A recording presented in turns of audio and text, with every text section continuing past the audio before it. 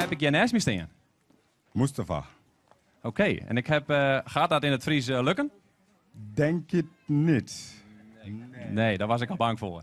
Maar ik zal proberen eh, het in het Nederlands te doen. En waar kom jij van oorsprong vandaan, Mustafa? Senegal, West-Afrika. En hoe lang woon je hier al in Nederland? Ruim 12, bijna 13. Oké. En wat heeft jou in de muziek gebracht?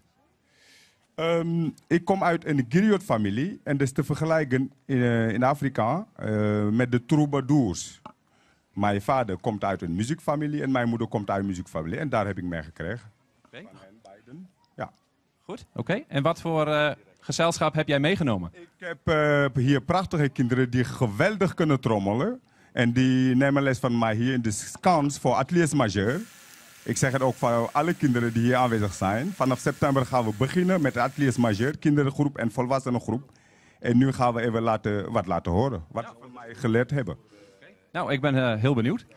En eh, hoe lang eh, heb je ieder jaar nieuwe kinderen? Of hoe gaat zoiets? Wat, wat, wat we elk jaar doen is twee keer 15 lessen. Dus sommige kinderen hebben 15 lessen en sommige hebben eh, 30 lessen. En ze zijn ook hier in Gorredijk enthousiast over dit soort muziek? We zullen het horen zometeen. Goed. Nou, laat maar even wat horen. Zet hem op.